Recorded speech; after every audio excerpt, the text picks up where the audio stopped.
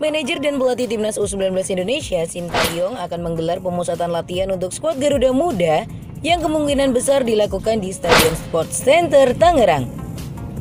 Rencananya pemusatan latihan timnas U19 Indonesia itu digelar pada 16 sampai 28 Maret 2020. Kepastian pemusatan latihan timnas U19 Indonesia digelar terlihat dari laman resmi Persebaya Surabaya.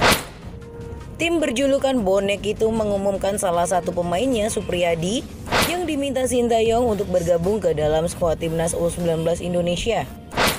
Pemanggilan top skor Garuda Select Angkatan Pertama itu disampaikan melalui surat bernomor 953 garing AGB garing 153 garing 3 2020 yang ditandatangani Ketua Umum PSSI M. Iriawan.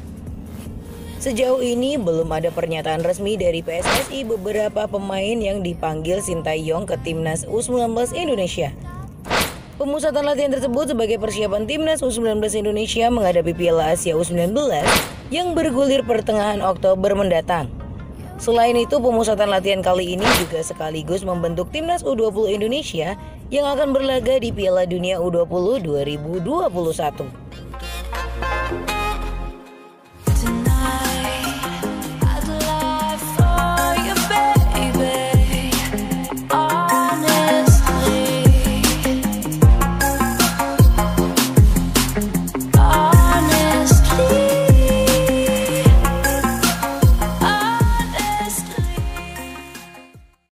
So tetap stay tune terus di Gila Bola. Tapi sebelumnya jangan lupa ya Klik like and subscribe dan aktifkan notification-nya Biar kamu gak ketinggalan update berita terbaru seputar sepak bola dari Gila Bola